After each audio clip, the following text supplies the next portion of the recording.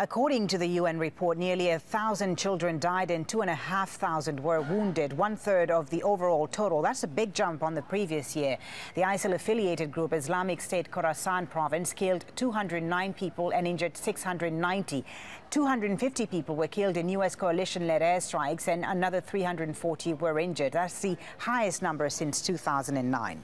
Well, joining us now on the News Hour is Danielle Bell. She is the director of the Human Rights Unit of the United Nations Assistance Mission in Afghanistan and the author of the report. She's live from Kabul. Thank you so much for being with us on Al Jazeera. So, since 2014, international forces have largely withdrawn from the battlefield in Afghanistan.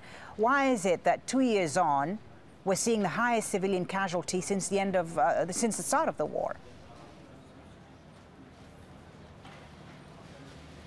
Well, since Afghan security forces assumed responsibility um, for security, there has been quite a significant amount of fighting countrywide, and Afghan security forces have been responding.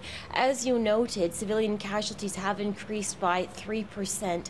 That's mainly because of ground engagements or ground fighting mm -hmm. in civilian populated areas. What is the leading cause of the casualties, and which side in the conflict is the most uh, responsible for these civilian casualties? Similar to trends that we reported in 2015, ground engagements remain the leading cause of civilian casualties, followed by improvised explosive devices, suicide and complex attacks, targeted killings, explosive remnants of war, and then airstrikes. Similar to last year and previous years, anti government elements, mainly the Taliban, remain responsible for the majority of casualties, or 61%, where 24% um, of casualties were attributed to pro government forces, mainly Afghan security forces. What about the children in all this? I see here a high number of children killed and maimed. In, in what circumstances? How are these children being victims of this conflict?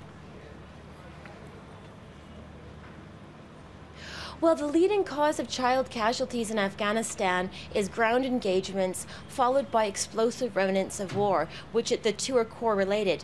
So, with the increase in ground fighting, there was a correlated increase in unexploded ordnance or ordnance left behind on the battlefield.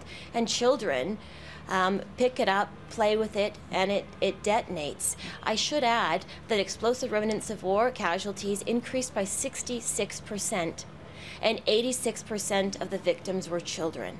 Mm. And what is your message then to, to the Afghan government and the parties involved in this country after you uh, made this report? What would you like to see happen?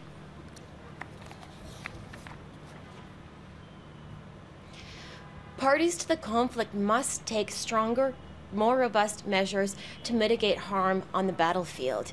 They have to stop making promises and ensure that the commitments that they've made are translated into reality on the battlefield. That's the only thing that has to happen to prevent civilian casualties. Danielle Bell, thank you so much for taking the time to speak to us. Danielle Bell of the uh, United Nations uh, Human Rights uh, Assistance Mission in Afghanistan, joining us there from Kabul. Thank you for your time.